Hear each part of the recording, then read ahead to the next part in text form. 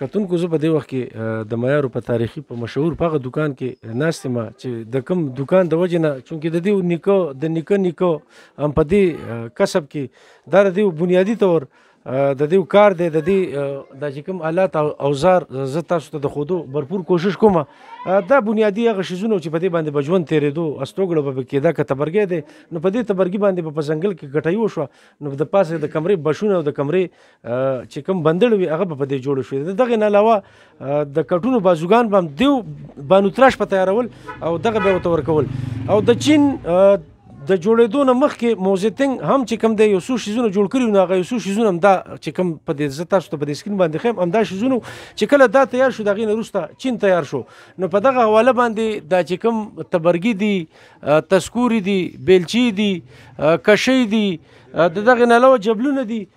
دا هغه حالات دي چې په دې حالاتو باندې په خوام ژوند تیرېدو وسوم په ژوند تیریږي جاوید خانه د کوم وخت تاسو دا کار کوئ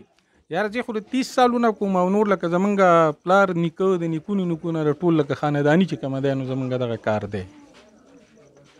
سم محسوس ته ډیر وخت تاسو په خپل سونه ایکسپیرینس سونه وخت پکې تاسو شو زما به 30 سال وشو د 30 کال څخه ستړکل خو نه نو تیس تال او ستړی کلی دا نیمه چې بس نور څه شی زمونږ نه دیز دا دغه دکان ته راوځو او بس بیرته کور ته ځو دا اوس ډیر جدید حالات راغلي دي اوس څنګه صورتحال د دې سامان آیا دا وزي کنه وزي د جدید حالاتو په وجه باندې خوست چې کوم دی نو تقریبا چې 80% کار زمونږ لکه ختم دی او دغه 20% پاتې راځي په هغه کې لکه یو کال نه چې بل لازم کنه لکه مطلب لرونه به چې موږ جوړول اوس مشینان نه وتی دي کنه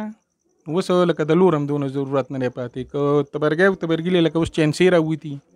د تبرګی هم دونه ضرورت نه پاتې او باقی چارته بس دغه یو ځی بل ځی کې مړه معمولی معمولی کار یا خو دې خو جو باغې کې بس ځانم پر مشغول کلی لکه زه به تاسو ته برپور د معیار کلچر او کلتور د خودو برپور کوشش کوم